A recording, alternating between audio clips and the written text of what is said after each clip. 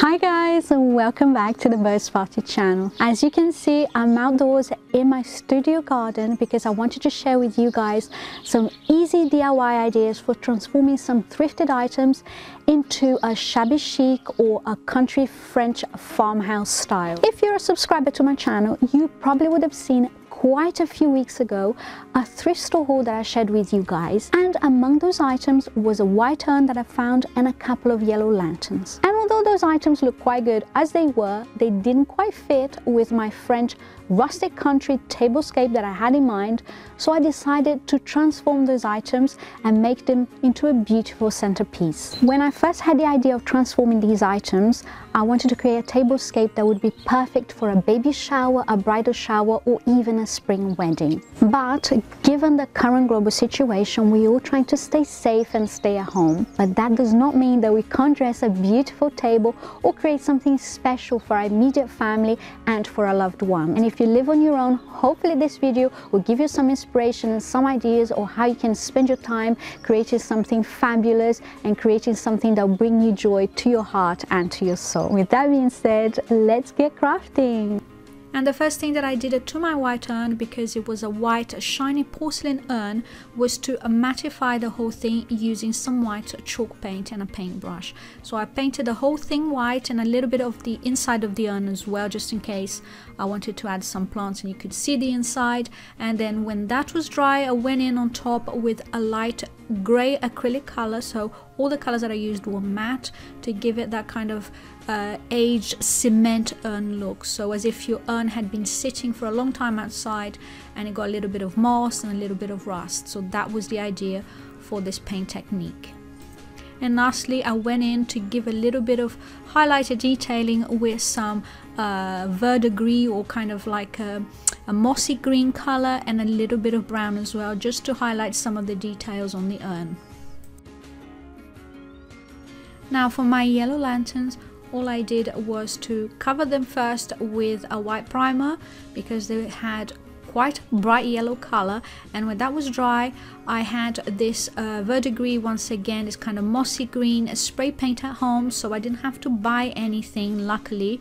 Uh, but obviously feel free to swap out the colors to suit your own taste but then I went in with some brown and a combination of two uh, acrylic browns and just really inexpensive paint I think I kind of uh, borrowed this uh, paint from my daughter's uh, stash of uh, acrylic paints. And I just went in with a very dry brush and kind of rubbing out some of the excess as well with a paper towel um, just to make sure that it looked a little bit rusty and a little bit aged. As you can see, I still have some yellow here and there on the lanterns, so this was the perfect occasion to camouflage that and to give it a really nice aged look.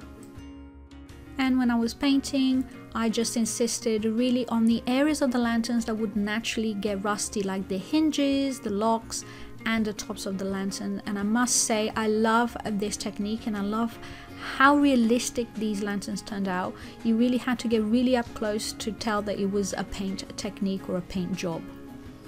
And don't forget you guys, these are just ideas and hopefully some inspiration uh, to help you get creative with maybe some thrifted items that you already have at home that you've been hoarding for a while like myself.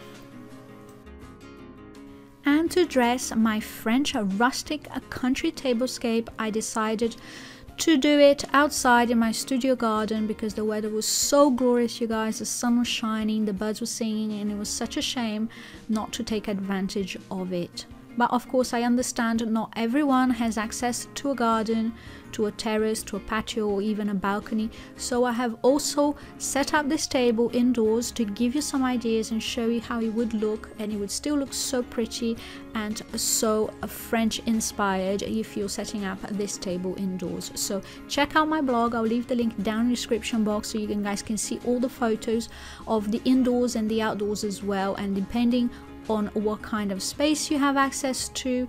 You can set up these ideas or something similar. Doesn't have to be exactly the same obviously uh, for whatever environment that you're setting up your table in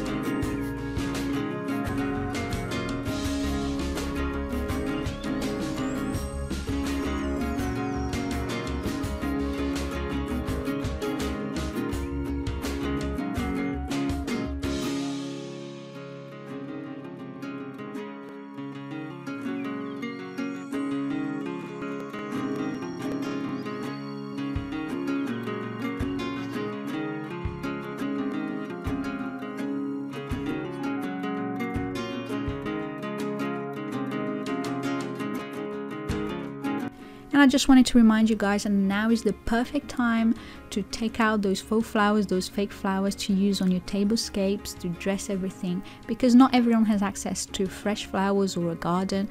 So shop your home for items you already have and don't forget to get creative transforming any thrifted items that you may already have already at home, sitting in your garage, sitting around and you don't quite know what to do with it. So hopefully this video will inspire you to uh, get creative and set up a beautiful table to treat your immediate family. I hope you guys enjoyed this video and if you did, please don't forget to give it a thumbs up. It lets me know that you like this kind of content so I can produce more of it and subscribe to my channel so you don't miss any of the videos that I post here on a weekly basis. Take care of yourselves and each other and I'll see you soon. Bye bye.